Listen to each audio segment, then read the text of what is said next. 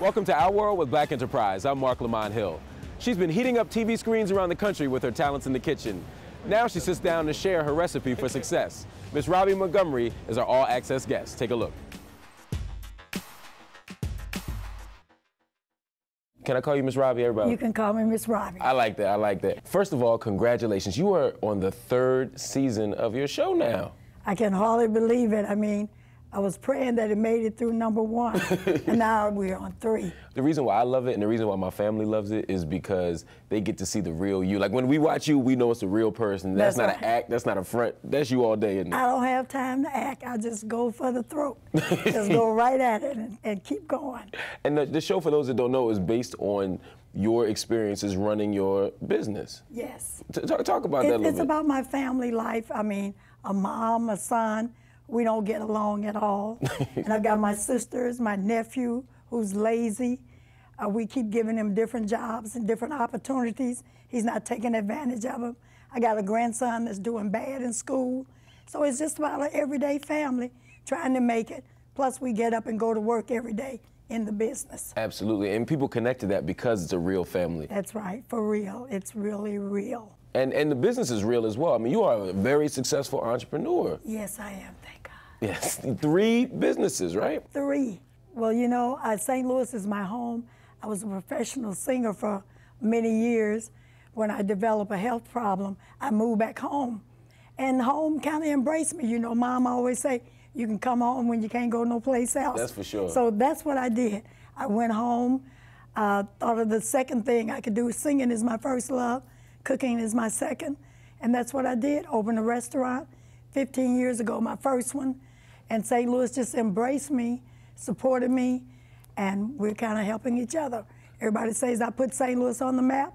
St. Louis put me on the map. Now, the first restaurant opens up. Most businesses, particularly restaurants, fail uh, within five years. Okay. You not only didn't fail, you grew and expanded to three restaurants. What was the secret to your success on the business side?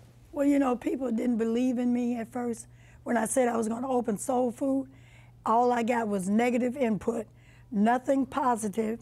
So that was kind of my inspiration. I was focused on this. I knew if I had something, a product that was good, it would work. I mean, I go all over looking for the best restaurant, especially soul food. It's sort of a dying breed. Yeah. So my mom taught me, and I wanted to continue and spread it with my family. So if you put a good product out there, this is my belief that people will enjoy it and they'll support you. Now, the first restaurant was great. The second restaurant was just as great, and that's the one most people go to, yes, right? the Mangrove, The, the Mangrove, Yes. right? But this third one, the upper crust. upper crust. That's my dream. Now that, that that's a that's bigger than just a restaurant. That's saying it in his name, upper crust. yes, ma'am. That is like All the. Disney World of restaurant. Exactly. Hello. Hey, Hey, been waiting on you.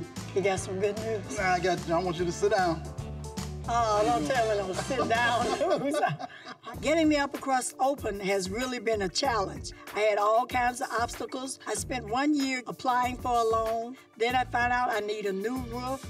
The kitchen has been held up. So it's just been all kinds of things that's been happening. It's a paper Okay. that we've been waiting on for 18 months. You got your occupancy permit. Yes. yes. All you got to do is Yes. open up. All right.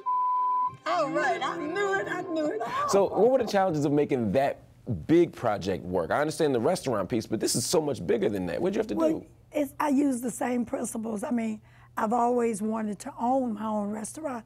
Mind you, I lease these other places. I take them, fix them up, and and it's not my property. So at any time when a landlord think you're making a lot of money, they up the rent. So I wanted to um, stop all of that. So I wanted to own my own restaurant. I found this building in an area that I wasn't allowed as a black young lady. Mm. So things were segregated, you know, back there. So I couldn't go in that area. But now I got my own restaurant there. You couldn't Yes. even legally go to a place Couldn't go. before, and now you not only can go there, but you own a business there. I own a business there. Now, one of the things you've gotten awards for is your support of ex-offenders, former prisoners are working for you. Yes. Why would you do that? Well, my son was in the system, so I knew when he came home, he wasn't going to have the opportunities that were available. And being a black young man, he was going to have a hard time. So I decided that I would open this business, I would help my son and other offenders that were coming home, they can't find jobs. Yeah. So, I mean, they're just, I mean, they made a mistake. So I'm willing to give them the opportunity. So I decided that I would hire ex offenders to help me out. We're helping each other.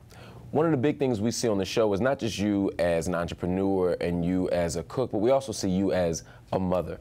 Yes. How important is family to you? Family is very important to me because those are the people that you can depend on or supposed to. A stranger you don't know, you know your family. You know what makes them tick and you know when they're happy. So you need that support. I mean, it's, I want to be able to give my family a job and I want them to take this business over after I'm gone. Is that a big part of what this is about? Is being able to pass the torch? That that's a big part of it. I mean, you want to pass the torch. Most people, my mom didn't have anything to leave me, so if I can do something for my family, my family has been my support. If I have them taste that chicken, if they say it tastes good, chicken goes on the menu. now it's time to talk to your son, Tim. We love each other, but Y'all go at it on the we show. So we're gonna talk to him and see what he has to say about you, what okay. you do on that show. All right, that's All right. good. Thank you. Stay right there. Whenever she gets mad, she call her, she'll put a mom card on. Ah. So even right or wrong, she always has a mom card. Right. She'll whip I'm out. your mama, so you got to do it. She whip out the mom card, man.